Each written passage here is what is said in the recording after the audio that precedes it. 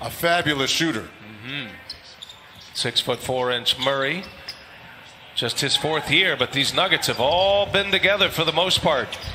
Now he goes and oh, oh, my goodness, what a basket!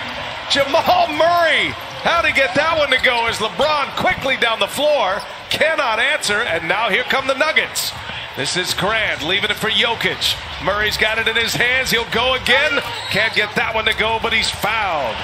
Thank goodness we got a whistle because we got to see this. Murray is attacking.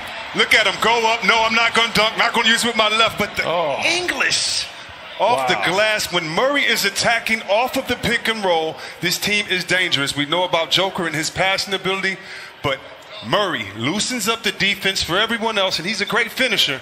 And by the way, he can find an open man on that penetration too. Do you know great how, play. Do you know how many people are going to compare that To Michael, Jordan? that Yeah. Michael Jordan? I, thing I wanted to say that. I thought you was going to kill me, though, what'd Reg. I was going to say it, Reg. He went up with one hand and came to the other. Hey,